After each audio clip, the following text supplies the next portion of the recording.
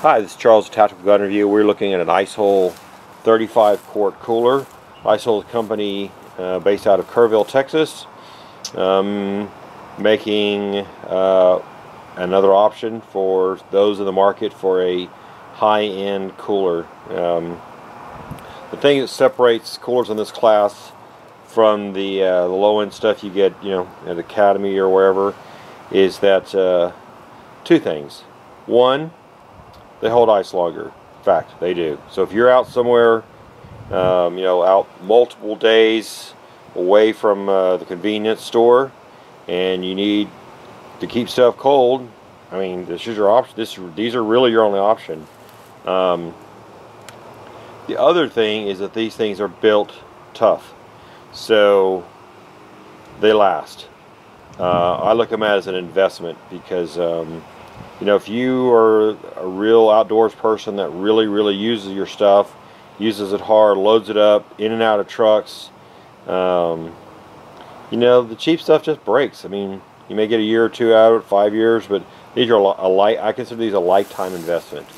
So while they are not cheap, um, I, I, do believe the old axiom: you get what you pay for. Uh, you know, like I said, these are made in Kerrville, Texas. Um, one of the things that I like that Ice-Hole's doing is they are a portion of their proceeds are going back to um, support our U.S. military and their families. So, you know, uh, as a as a vet and um, you know patriot American, I think that's awesome. Uh, I wish more companies did it. So, give you a quick rundown of the cooler. Again, this is 35 quart. Um, you'll see that you have the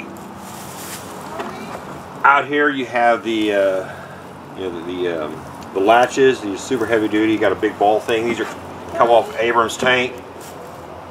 And um, open these up. And again Ice-Hole made in the USA rotate this towards you a little bit.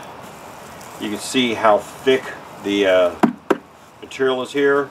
I mean, there's, you know, probably three inches of insulation. So, you know, these things are built um, with a lot of insulative capabilities.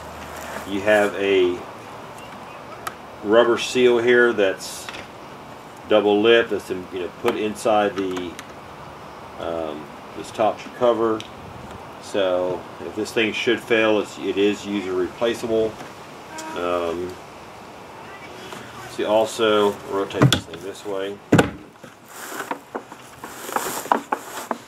You'll notice it has rope handle that should fail, should be is user replaceable.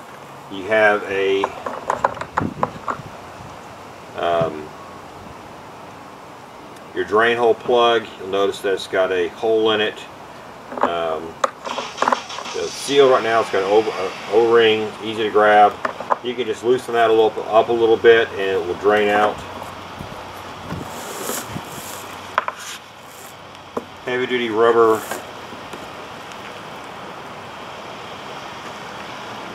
plates on the bottom. Notice that the hinges on the back, these are not um, riveted on, whatever. It's Part of the part of you know, basically two pieces. The base and the top, they're both loaded and they got a hole and you got a basically a, a pin that runs all the way through here.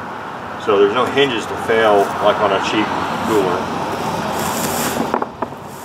So again, this is the uh, Ice-Hole 35 quart.